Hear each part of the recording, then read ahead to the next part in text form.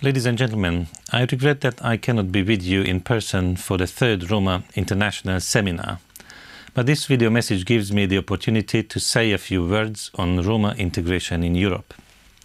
The European Commission is determined to make progress to address the socio-economic situation of the Roma in Europe. A lot have been achieved since 2010 April, when I sent the first message via Mundo Gitano. European Parliament resolution in March 2011 calling for more resolute action to improve the situation of the Roma. A communication on Roma was adopted by the Commission in April, followed by the first ever meeting of the Council of Ministers dealing with the Roma in May 2011. The EU framework for national Roma integration strategies up to 2020 seeks to make a tangible difference to Roma people's lives. It is the EU's response to the current situation, and it does not replace Member States' primary responsibility in this regard. With this EU framework, the Commission encourages Member States to adopt an integrated approach to Roma integration. In our view, national Roma integration strategies should set achievable targets for Roma integration to bridge the gap with the general population. These should address as a minimum the four EU Roma integration goals relating to access to education, employment, healthcare and housing. This will require greater effort from local, regional, national and EU authorities. Second, include a concrete list of integration actions targeting Roma people and identify those territories where people are hardest hit by poverty and social exclusion.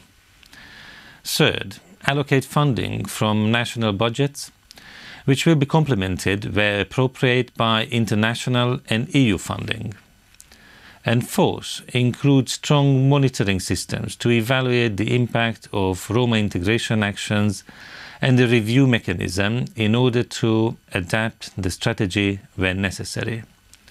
And fifth, be designed, implemented, and monitored in close cooperation and continuous dialogue with Roma civil society and regional and local authorities. And six, appoint a national contact point for the national Roma integration strategy with the authority to coordinate the development and implementation of the strategy. The Commission has asked Member States to prepare or revise their national Roma integration strategies and submit them by the end of 2011. In spring 2012, the Commission will assess these national strategies and report to the European Parliament and to the Council.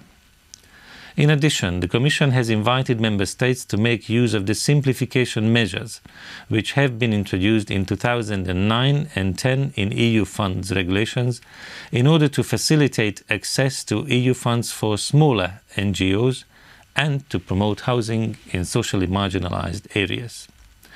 The Commission also believes that we should promote innovative financial engineering instruments such as microcredit which can target more Roma communities. Roma programs should not be disconnected from mainstream policies on education, employment, public health, and urban planning. Our policies need to be explicit but not exclusive and must seek to bring Roma into mainstream society. Programs that succeed are never ethnically exclusive. They focus on people facing the same socio-economic problems or who are at risk of discrimination. But, as many Roma representatives have pointed out on various occasions, actions to promote Roma integration have to be done with the Roma communities, not just for them. If we want to achieve real results, Roma communities must co-own the projects that are there to help them, along with the local and regional authorities. However, Roma themselves have not been sufficiently involved in the implementation of programs funded by the EU. This is partly because Roma NGOs and NGOs targeting Roma communities often lack the organizational and financial capacity to successfully apply for funding and then to implement projects. Capacity building is the first step. The Member States should use more resources to help Roma to apply for EU funding and to support capacity building for potential aid recipients. Ladies and gentlemen, I wish you a successful discussion and I look forward to hearing your proposals for promoting effective Roma integration over the coming months. Thank you for your attention.